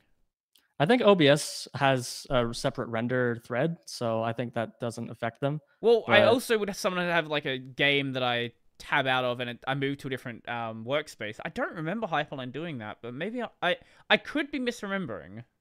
I'll have to test Hyprland. Maybe they worked around it, but hmm. like I said, there are some works or fixes in the works. Uh, the SDL is going to get an event that will let us that'll notify us when the window is no longer visible, so I can just stop rendering altogether, mm-hmm. uh, which will be much more efficient. But that's not there yet. So right now, if you run Factorio on Wayland, just don't don't hide it because then you'll get dropped. huh? That's really annoying. And uh, it is very annoying. Is that the only platform that has that issue? Yes. Okay.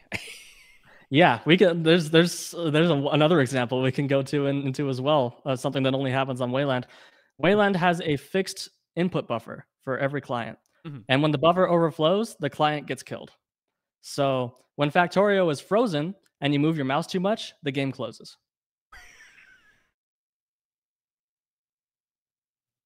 And Factorio freezes quite a bit, especially if you place a gigantic blueprint. The game freezes while it processes that mm. because it's a single-threaded mostly game. Uh, and so, I, if I'm running it on Wayland, I just have to not touch my mouse because otherwise the game will just turn off. That it's really annoying. Yeah. Is there some and way that only happens on Wayland? Sorry, what? I was gonna say, is that is there some way that can be worked around, or is that just like a fundamental issue? Uh, it was a fundamental issue. Just like a month ago, they finally merged a change that will make the input buffer resize automatically on mm-hmm. the server side. Uh, I don't know if that'll fix it automatically for us because I haven't tested it yet, but I'm hoping that it will. yeah, these are the these are the kinds of things. Uh, like I said, you have to keep ongoing platform support, especially with Wayland, because uh, there's a lot of issues that came up after I added the support that I never would have expected.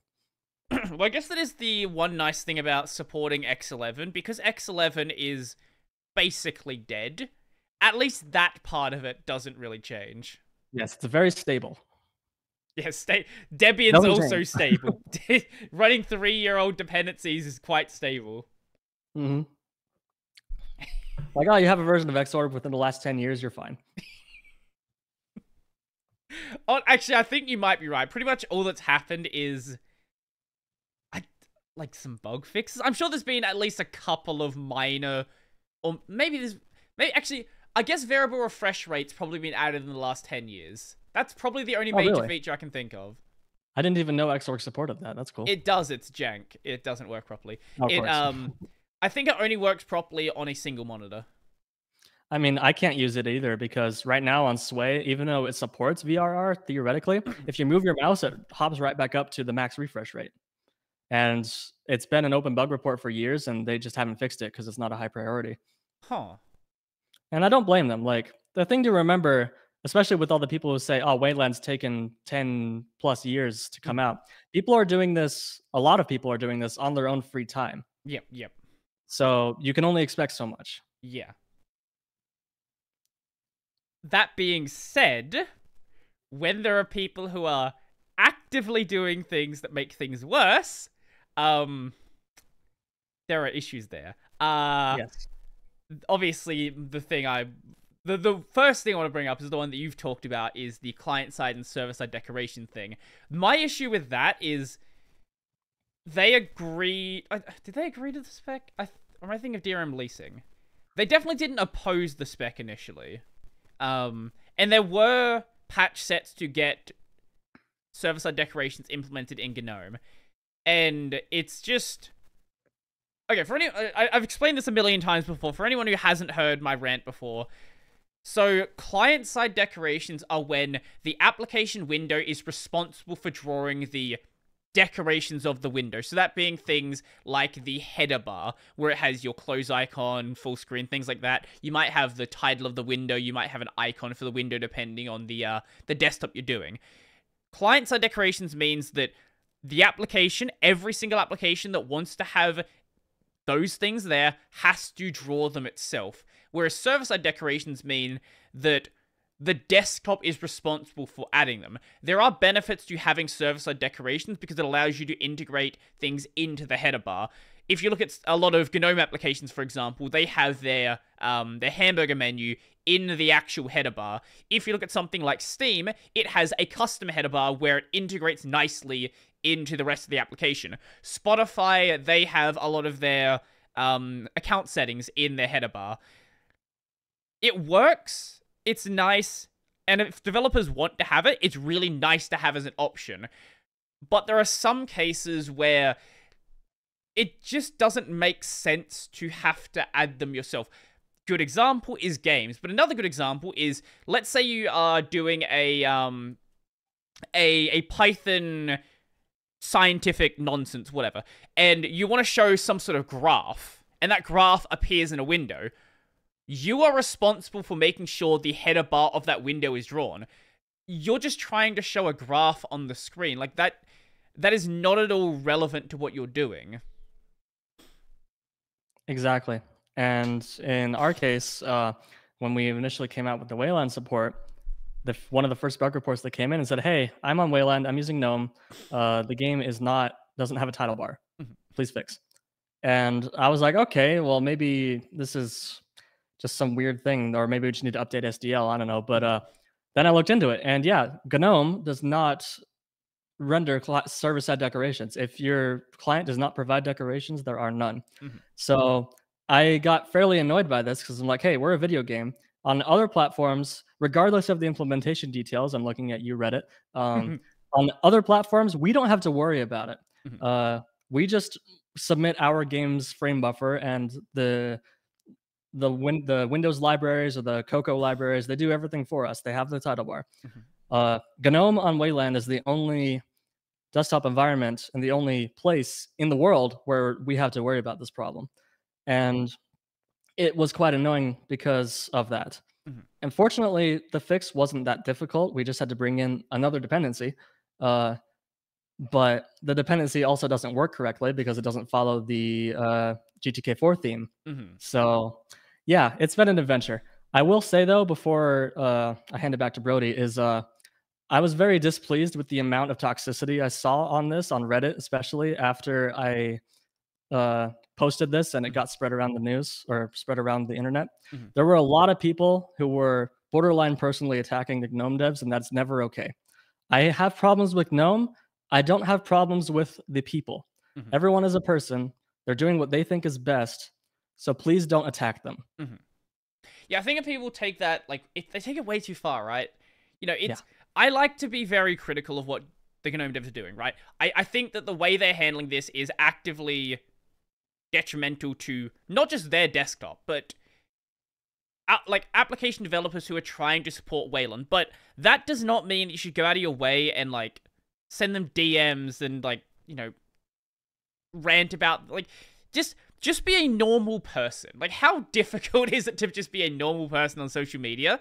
And it's fine to be critical of it and bring this up as an issue and that's that's like fine. But as the second you're going to be doing personal attacks, you've crossed a line. Just stop doing that. Yeah. And uh, I might have, I don't know, the, the tone that I took in the blog post was fairly harsh. Mm-hmm. Uh, excuse me.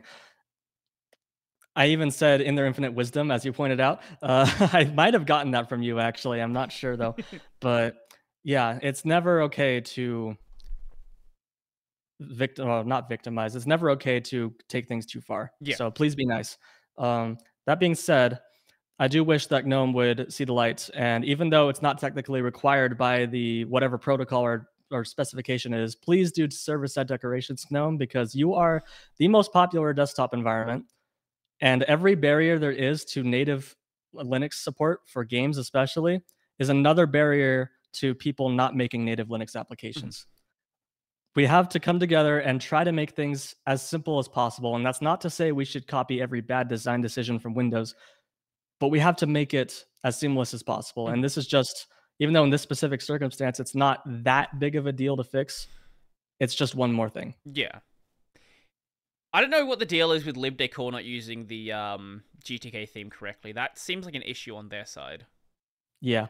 The thing with libdecor is like even though it's just one dependency, it also has its own dependencies. And uh, with SDL, we don't have to link against libdecor because SDL links it at runtime. Mm-hmm. Uh, but for simpler applications, if you want to just draw a graph and uh, you just want to submit your OpenGL frame buffer with your graph, but then instead you have to bring in libdecor and lib and Pango Cairo and all these other things to draw the title bar, and it's just it adds a lot of complexity. It shifts the burden of that complexity from the desktop environment to the clients.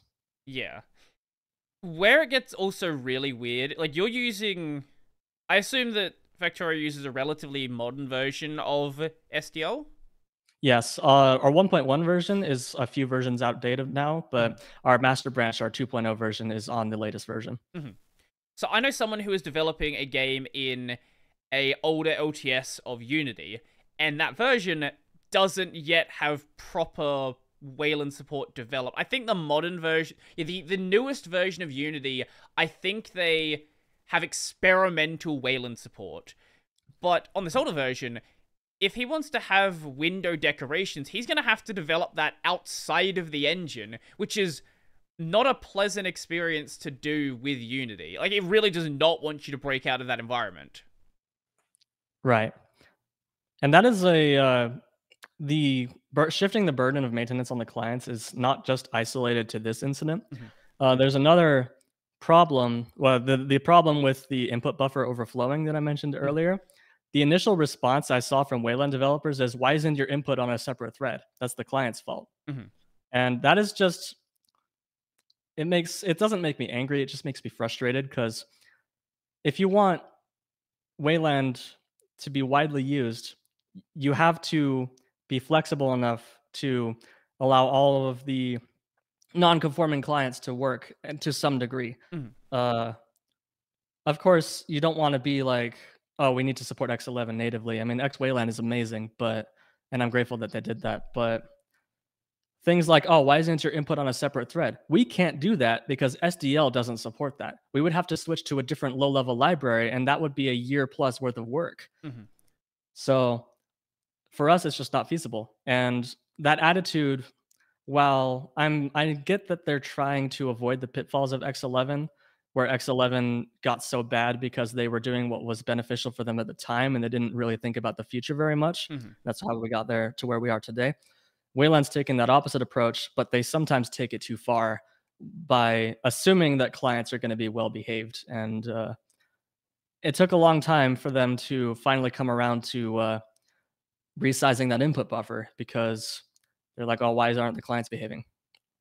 Yeah, a common thread I see is, well, just write the application better. Like, why yeah. are you doing that? What is the purpose of like this functionality? And that I, I get that question being asked, but when people are developing applications for Windows and Mac OS where or X11 where certain things are just there and are expected to work, you can't just then say, why did you ever do that? Because you are the. Like, Wayland is not just the small platform. It, it's not just Linux being the small platform, it's the small platform on the small platform that is trying to dictate how the entire world of software gets developed. Like, a good example of this is the XDG top level icon discussion. So this is a nightmare discussion. For anyone who hasn't heard about this one, the idea it's it's such a basic thing. You want to have a parent window that has an icon, and then the child the, the, the child windows having different icons than the parent. So if it's something like a one of the examples used is um LibrePCB, where you have your main section and then like different section I don't know PCB terminology, but different sections that are focused on different parts of the PCB have their own specific icons. And that's something that is just not possible under Wayland. And for a couple of months there was actually maybe it was like the first month, there was a lot of discussions about, well, do we even want the ability to, for Windows to be able to set different icons? Why would you use this? What is the functionality of it? Are people going to abuse this feature? Are they going to use this to pretend like they are Windows for other applications? And all of these are fair questions, but it doesn't change the fact that this is a method of design that has been used for a long time and even if Wayland says this is bad and no one should ever use it, that's not going to stop anything because Windows still supports it, macOS still supports it, X11 still supports it, and you can't control what the rest of the world is doing when you are the the minor the minority of the minority solution. You're not like you're not Internet Explorer or Google Chrome at its absolute heights where you can control what the web is going to be doing, you are less than 1% of the development ecosystem. Right. I mean, you have like the top 1%. We're the bottom one mm-hmm. We we have no say in how the wider ecosystem works. And like like I said, I understand where they're coming from, but if you want Wayland to be usable on a wide scale, it has to be more flexible. Yeah, yeah. I don't know what's going to happen with Wayland because things are getting very rough, especially in that that top level icon discussion repo. Um, because there's been some like, it's not just because of that repo; it's because of multiple years of discussions where people are just like people are getting burnt out, right? Like they've there's so many issues that are getting stalled. There's so many times that issues are getting rehashed and like I get it, right? You know, you've you work five months on a protocol, and then like right near the end, it's hey, let's have a discussion about the things we already talked about for five months already. Let's rehash them again, even though the result is going to be exactly the same. And this goes back to what we are saying, right? The people who are working on this are people, and a lot of them are doing it in their free time. And when it seems like the work you've been doing for all of these months is about to just go up in flames because like a few people have issues that they don't want to let go of. Like it, it it's like i i look i for one wouldn't be able to keep my cool working in this repo. I i'm very glad that the people who have voting rights in wayland are like rational people who like can step away when they need to step away. Yeah, instead of letting it pile up until they just hate their own lives and just don't let anything happen. Yeah, yeah. So, I guess okay. With the whole the Wayland spawn Factorio, we've talked about the bad things, but besides the whole fractional scaling thing and making that work, like what else has been has been a positive with not just supporting uh, Linux but supporting Wayland? I'd say, uh, hmm, I don't know. The fractional scaling is pretty good, mm. but some people have said that the game feels smoother, mm-hmm. and but I actually I don't really know because I use Wayland has inherent vsync inside of it, and that's there's like tearing protocols that are now starting to go through finally that lets you get screen tearing back when you really need it. Mm-hmm. Uh, but theoretically, it uses fewer resources, but it's mostly just uh, the same experience. Mm-hmm. If you're on a 1.0 display scale thing, uh, XWayland is so good that you're not going to notice half the time. Mm-hmm. Like all Proton games right now run through X11, mm-hmm. and you have a great experience. Uh, so I'd say the upsides. The reason why I focus so much on the negative is because the the positives are a lot harder to see. Uh, like you know intellectually that it's running through Wayland, and there's like, oh, you have the new stack, and like that makes me happy.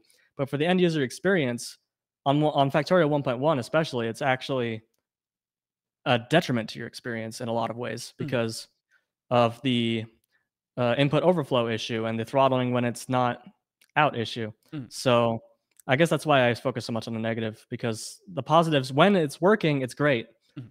but there's still some glaring issues. So it's hard to keep that in mind.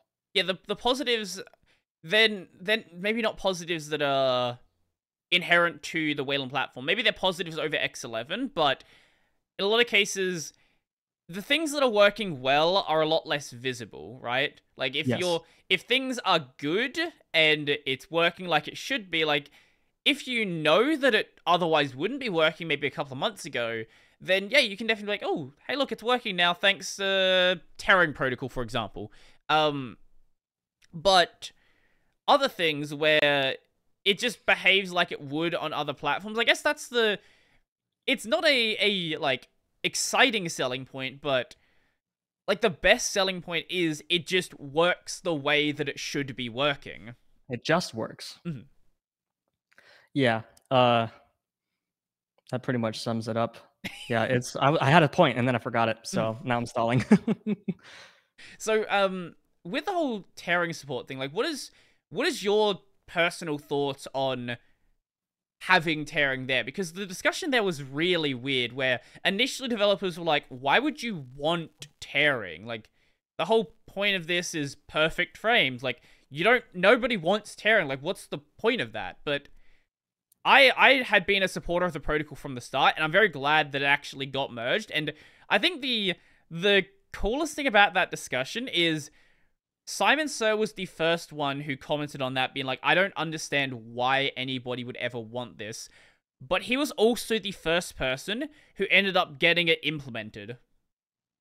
Yeah, I've had a pretty good experience overall with the SourceHut guys. Mm-hmm. Uh, like I use Sway, that's that's SirCmpwn's Wayland compositor. Mm-hmm. Uh, and I had used actually used SourceHut for a while, and I liked my experience with there. Uh, but I like the tearing protocol because most of the time you're right. Like most people aren't going to notice a couple milliseconds, but mm. I play Osu. Uh, I'm not like super high in the ranks or anything, but I play it high enough at a high enough level to be able to tell mm-hmm. when the VSync is causing lag. Mm-hmm. So mm-hmm. I've been really looking forward to the tearing protocol because it will get rid of that much more latency from where my cursor actually is to where I see it. Mm-hmm.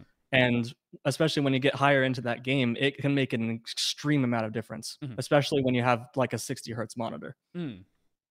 Oh, yes. 16 milliseconds is a long time. Especially if it's a 60 hertz monitor for sure. Yeah, like I have a 144 hertz ultra wide that I'm using here, but I play Osu on my laptop sometimes, and I have to switch to i3 for that because the the the latency on Sway is just too high. Mm-hmm, mm-hmm. Yeah, I guess with like the regular desktop stuff, right? I think that's the. I, I think this is a big a big problem with a lot of the um the Wayland discussion. It's a problem, and I, I I get how it happens, right? the people who are developing Wayland, a lot of them are not like the regular Linux users. And that that makes sense because they're spending all of their time writing C++ code and writing XML files. Like it makes sense that you are a very very I guess uh how would you say it like deep into the Linux ecosystem.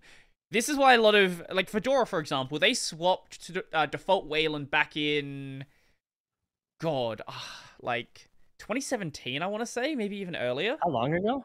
Yeah, on the GNOME side, on um, AMD GPUs, huh. yeah, they swapped a long, long time back. And back then, you couldn't screen capture. Like, there was no screen capture support at all. There was a lot of other things that were broken and just. It was not usable for a regular user, let alone the NVIDIA stuff, where NVIDIA back then, I don't think you could do GPU acceleration on XWayland. Like, gaming was impossible. Um, oh, I mean, that only recently landed. GPU yeah. acceleration on XWayland. I don't remember how long ago it was, but it's definitely relatively recent. Uh, maybe in the past couple of years. I thought it was the past couple of months, but I could be wrong. No, no, definitely, definitely longer than oh, that. no, I'm thinking. Okay, no, I'm wrong. You're right. Explicit Go sync ahead. is the past uh, couple of months. Yeah, that's probably what I'm thinking of. But I thought it was also the hardware acceleration in general in XWayland.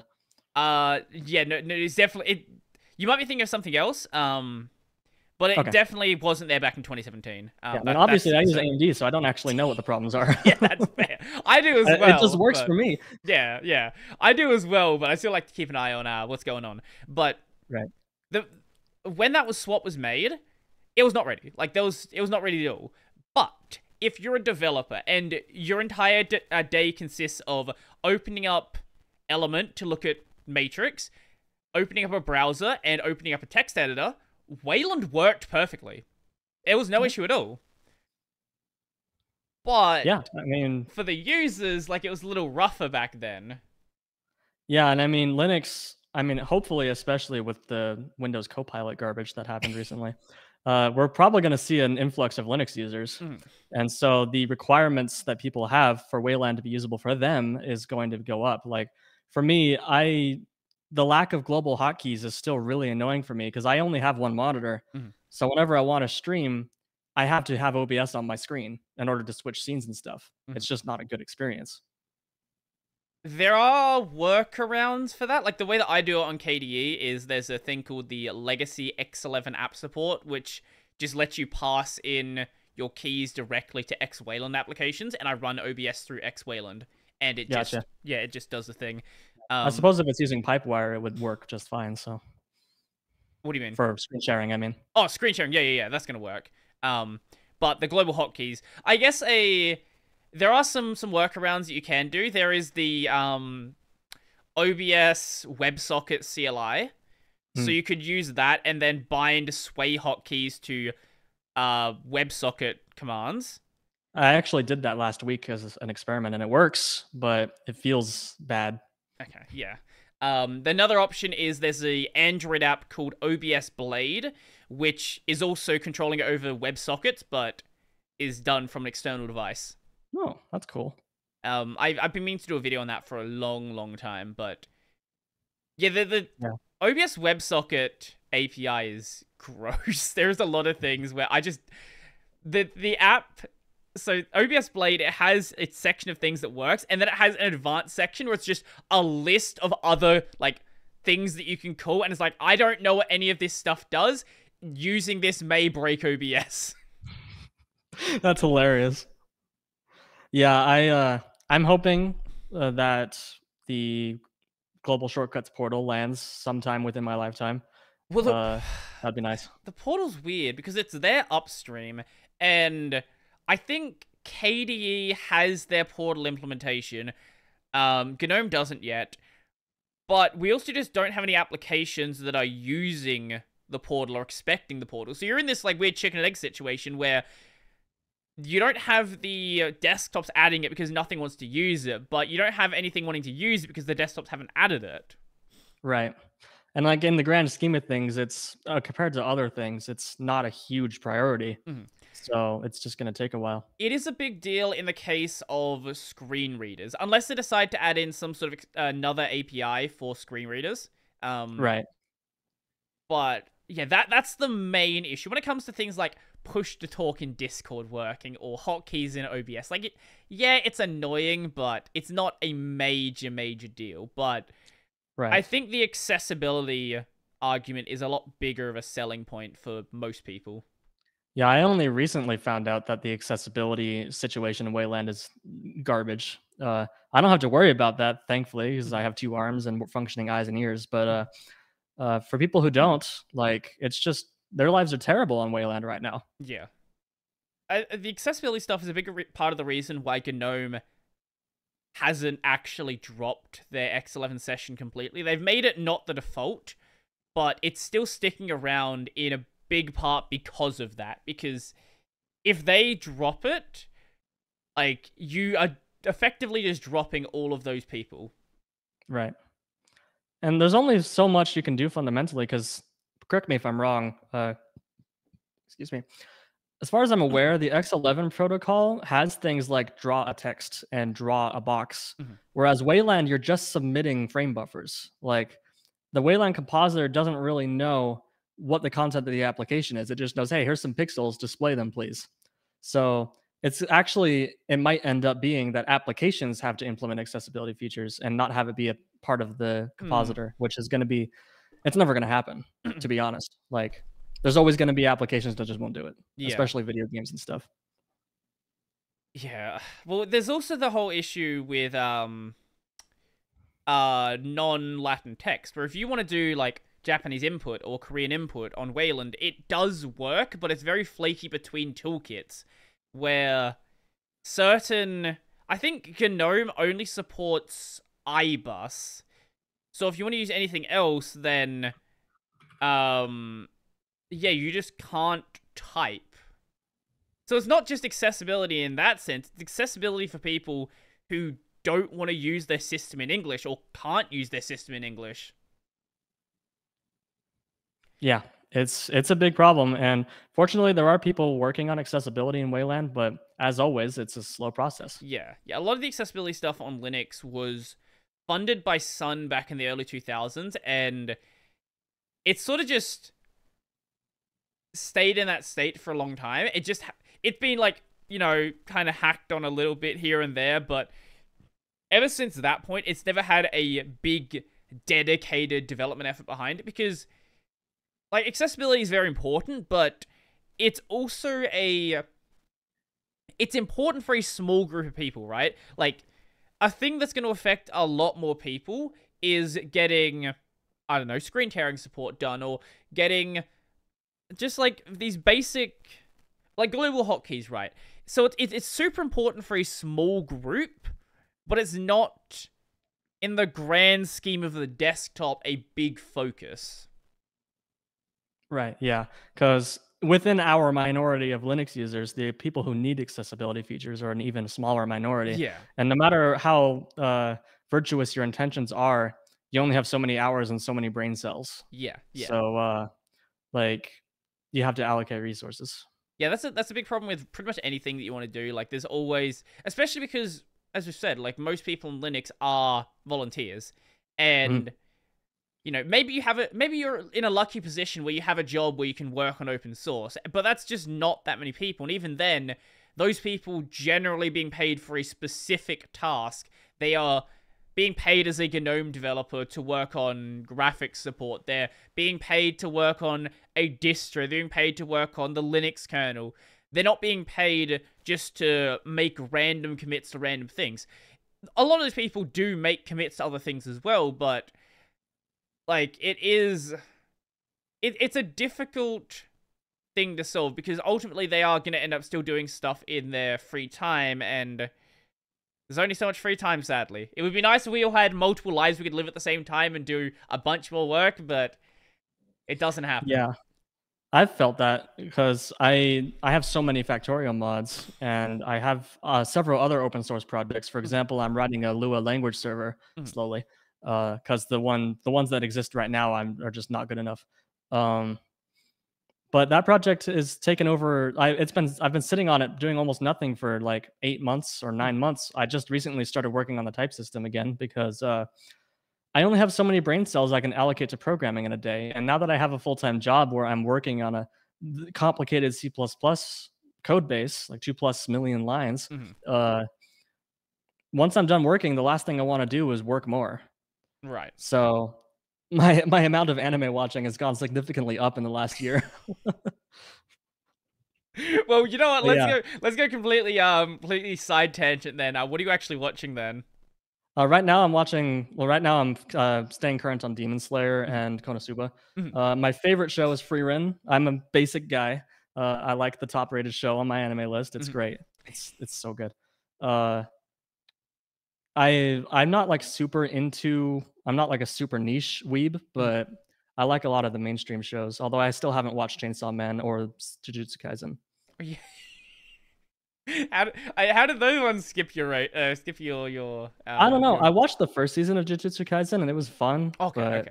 I think mean you watched any of all. The, like, I'm not gonna be like one of those people who say, "Oh, you have to boycott things because of their working conditions," but like I, I already wasn't that interested in Jujutsu Kaisen season two, and then when I heard about the hellish working conditions they went through, I'm just mm-hmm. like, no, I'm just not gonna watch it. That's fair. That's uh, fair. And then Chainsaw Man, I just, I don't know, I just never got around to it. yeah, I I I'm watching all of that and a lot more. Um, yeah, I like your figure collection. I probably should. Yeah, I've I've got a couple of things back, a couple of things back there. Um, yeah, I probably should watch less, but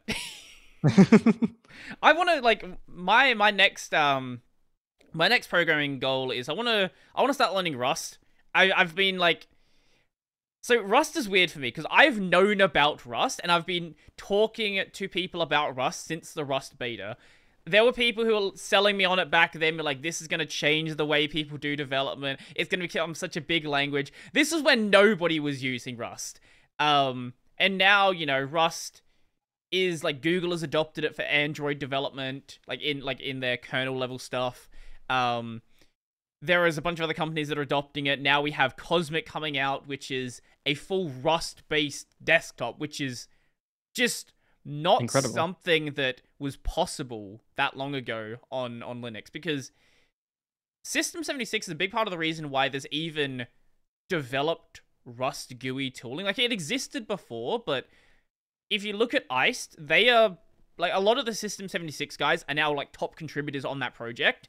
Like they have brought that ecosystem so far forward. So you were a Rust shell before it was cool. I wasn't a Rust shell. I was just aware of it. You know, I was like you. uh, I I knew about Linux way back when, and I just hadn't hadn't ever messed around with it. Right. Yeah. I actually used Rust for a year. Mm-hmm. Uh, for a lot of my side projects. Well, mm-hmm. two of them. Uh, but I ended up dropping it in the end because uh, the limitations were bothering me and my development productivity was too low. Mm. And people will tell me that that's a skill issue, and they're right. I just I don't like Rust very much. Mm-hmm. But well, everyone is different. Yeah, that's true. Um, well, going back to C++, what like how do, how do you feel like C++? Like not just your experience with it because we touched on that before, but like how do you actually feel about the language itself? I feel like if you stick to the same subset of it that like actually makes sense like oh hey you can have classes. Oh hey you can overload some methods. Uh it's actually a really nice language to work with. Mm-hmm. like i can express what i want to do in a concise way a lot of the time. Mm-hmm. and uh, there are some things like the error messages are horrible. Like it took me a long time to figure out that there's a specific one i'm thinking of where uh the error message is just something like cannot uh uh, there's no like there's no constructor there's no implicit copy constructor for this thing. But the actual solution is to just dereference it. Uh okay. or no it's the, the actual solution is to put const in front of it because that's a const copy constructor but not a non-const copy constructor. Uh it's just things like that. Uh but if you stick to the same subset of the language i feel like it's not that bad until you have to actually build your program and then it's just terrible all around. Mm-hmm. So yeah, I am. I've gotten a lot better at it over the last year. Mm-hmm. So what is your your background with programming actually like? Because obviously you did the Factorio modding, but did you have experience doing any coding before that, or what what was it like? Actually, the majority of my experience is in Lua. Okay. Before I got into Linux, I made uh, Rainmeter skins uh, for Windows. Uh, Rainmeter is like a desktop customization thing where you can get skins and uh, you can put them on your desktop. Mm-hmm. I made a suite for that called Modern Gadgets. You can actually still find it on my GitHub, but it's archived now. uh, it was fairly popular. Mhm. And uh, the skin, the skins themselves are INI files, but you also can use Lua scripts to do fancier things. So that Mhm. was my initial foray into real programming. Mhm. My experience up to then being Scratch. Uh, so I went from Scratch to Lua for Rainmeter skins. Then I graduated to Lua for Factorio modding, and now I and then I did Rust, and now I'm doing Rust and Go, and a little bit of Python, although I don't really like Python, Mhm. and but mainly C++ now. So you're f- you you learned to program in Scratch then? Yes, Okay. Uh, when when was that? uh, that was around 2009. So uh, that was back when Scratch was still a thing you had to install on your computer. Mhm. Uh, you had to download the Scratch editor to be able to make Scratch programs. Uh, that's where I learned things like if statements and uh, re- well, it was called forever if, but uh, for loops and things like that. Uh, and then my mind exploded when Scratch 3.0 came out, and you could define custom blocks that do things, which is just functions. Mhm, mhm. Uh, that was amazing. Uh, but that's what got me into programming, and I actually made some pretty stuff. I'm pretty proud of on Scratch. Uh, yeah, it's it's fun.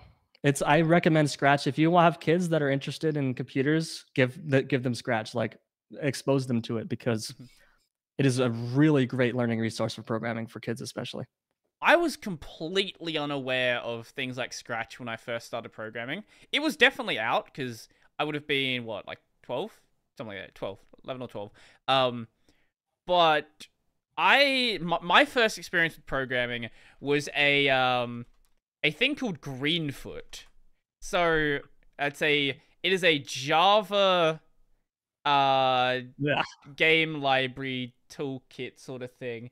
Um, I was lucky enough to have in my high school a programming class, and we were using this to do our game development. Um, now the the funny thing about it is, the teacher who was running the class, he was not a very experienced programmer. He just wanted to run the class, but he was reading the textbook basically a chapter ahead of us for each class. So wow. whenever so I, I came across like this thing called an enum and i was like hey how do enums work and he was like i don't know what that is That's hilarious. Yeah, I I didn't have well actually I did have one programming class in high school. I forgot about that actually. Mhm. Uh where we used Java Mhm. and I was the top of that class uh because I'd already been doing Scratch for so long. Like where whereas my my classmates were struggling with if statements, I was like, "Oh, I, these are easy." because Scratch had already taught me how they work. Mhm. That's why I really recommend Scratch because you don't have to worry about syntax. You just drag and drop. Mhm, mhm. So once you figure out how like if statements and for loops work, then all you need to do is translate it to the text representation of the language that you're using. And that's a Mhm. much smaller step than learning the fundamentals of how programming works. Mm. That's why Scratch is so beneficial. Yeah, I I kind of wish I had known about it when I was younger and when I like before I had gone Yeah. to high school because I probably would have really liked it then. Um, because I always I always liked the idea of programming. I just I didn't know. I, I think the problem is like knowing how to start, knowing what to start with. I know there's gonna be someone out there being like, I started programming with C. Yeah. Like, yeah, I don't I don't care. Like, I Wow, know you that. guys are spoiled. I started in assembly. Oh God, yeah. Like Scratch is so good that like even CS50, the Harvard course, starts them on Scratch for Oh, one week before they go into C. So like they teach them C, but they actually start them on Scratch for a week first so Hmm. that they can learn the very basic fundamentals. Huh. That's probably a really good idea then, huh? Yeah, it's incredible. Like I I keep, I'm like being a shill for Scratch. It's so good. I guess it looks like a kid's toy, so it's like, you know, I mean, it kind of is. if, well, yeah, it is, but it's it's a kid's toy that has like a a really good like it's it's a really useful learning tool, I guess. And I guess Yeah. if you want to know like what's possible with it, like go to the Scratch website and they have like a lot of really cool stuff just being shown off on their homepage. Yeah, I mean, people make some pretty incredible things. Uh, the most incredible thing I made was I made uh like a little simulator where there were these little people or these little robots that were eating sludge, and they just randomly wandered through this area and ate sludge until it was all gone. Mhm. I was really proud of that. But uh, the people make full on. Some people even made 3D games, but the most impressive one I ever saw was someone made a fully functional platformer, like with a scrolling stage and mm-hmm. everything. Mm-hmm. It was mm-hmm. it was truly amazing. It's called Scratchnapped. Mm. Like that was like that just blew my mind when I was a teenager. It was like, holy moly, how did not only how does this work in general, but how do they do it in Scratch? Mm-hmm. mm-hmm. Like it's incredible. Yeah. And of course, you wouldn't be surprised, but there are multiple people who have written Doom in Scratch because, of course, oh, they did. yeah, of course. I think that's that's that's super cool. Like, obviously, that's not the intention of it, and that's people who are just actually really good at programming who are like, I just want to go back and use it. Um, but yeah, if you, I, I guess yeah, if you if you want to get started, it's probably there's probably worse ways to get started, right? Like I know a mm-hmm. lot of people who got started on Python. I know people have gotten started on C, but I guess if you want to just ignore, I guess the syntax is probably the part that's probably relatively scary to a lot of people. Like, if you look at C++, plus like, what, like, or like C, right? What is a, a, what, what is a reference and what is a pointer? Like, why is there an asterisk here? Like, what is that supposed to mean? Like, the, is not, it, uh, it makes sense if you understand the language, but when you're getting started, I guess that that syntax can be kind of a barrier to entry. Java is really bad for this as well. Like, um, Java is very, very wordy with a lot of stuff. Like it, it has libraries upon libraries upon libraries just for basic things like system.out.println just to do a, a printing a string, and yeah. Yeah, I mean it's better than C++ where you have to do std colon colon c out left bracket left bracket your string left bracket left bracket std end line just to print something. Yeah, anytime there's a I look at a C++ tutorial, I don't think anyone actually explains what that is. They're just like, oh, just just ignore that. This is just how we do it. Just don't think about it for now. Yeah. It's like in a lot of languages, uh, there's this really dumb uh, metric where like how small is the hello world program? Mm-hmm. In C++, it's uh, like one, two, two lines minimum. Mm-hmm. Uh, because you have to import IO stream 1st mm-hmm. which has to be its own line, and then you could do your main function and stdc yada yada yada. Uh, whereas in C, it's one line because you could just do int main, and then in your body you just printf. Mm-hmm. Uh, in Python, it's just print. In Scratch, it's just say. Uh, it's a really dumb metric, but mm-hmm. uh, it's kind of interesting to think about. Mm-hmm, mm-hmm. And then there's assembly where it's like, okay, well, good luck. yeah, we're all spoiled. we have functions. Although I guess assembly has routines, but I don't really know much about assembly, so. Yeah, that would be a, a fun thing to play around with at some point. It's it's not going to be like a productive use of my time. I'm never going to write assembly code for anything actually useful, but it would be nice to go and actually have a, a core understanding of how that stuff fits together. Oh yeah, like one series I highly recommend is Ben Eater. Uh, mm-hmm. he made an 8-bit breadboard computer from scratch, uh, including like programming all of the opcodes and stuff by mm-hmm. programming them by plugging in wires. Mm-hmm. It is incredibly educational about how l- computers actually work at a fundamental level. I highly oh. recommend it. I will definitely, uh, definitely check that out if I have some time. Yeah, and uh, the reason I brought that up is because I want to. He sells a kit where you can build your own, mm-hmm. and I really want to do that but I just haven't gotten around to it because there's so many things I want to do and so many brain cells. Only so many brain cells, like I said before. So much to do, so little time. So much to do, yeah. Only 24 hours in a day. It's not enough. Yeah, that's uh, you know, well, there are, you know, we, we, you're aware of leap seconds. Technically, is a little bit more hey. depending on, depending on what day it is. Well, hey, we also have the daylight savings, so sometimes my, sometimes my days are an hour shorter or an hour I, longer I for no good reason at all. So much. Like I, it made sense back when we were all farmers, but now it doesn't really make sense anymore. Yeah, yeah, I guess so, but like, ah, uh, that the the problem isn't getting getting an extra hour; it's losing the hour that's the problem. Uh yeah. Uh, spring forward is the worst. Mm. Fall back is great; you get an extra hour of sleep, but spring forward is terrible. Well, I don't. Usually, I just wake up at my normal time anyway. It's like, hey, it's seven o'clock instead of eight now. What's going on? Uh oh. Because I don't like I have everything just automatically change, so you know I, I don't think about it. Um, yeah. Someone will usually mention it to me, like at work. They're like, "Hey, daylight savings." Like, oh, yeah, that's a thing, isn't it? I'm actually quite blessed in that regard too, because uh, like for example, I'm going to Prague this weekend mm-hmm. uh, for a three week work trip. Mm-hmm. And uh, last year when I went, I didn't have any jet lag whatsoever. I somehow managed to luck out in such a way that uh, I managed to line everything up perfectly that I didn't suffer from any jet lag. But then recently we flew to Texas to watch the American solar eclipse. And when I came home, it was like maybe a two hour flight mm-hmm. and then only an hour of time difference, but I was completely destroyed. Mm-hmm. Like my body was not happy for several days after that.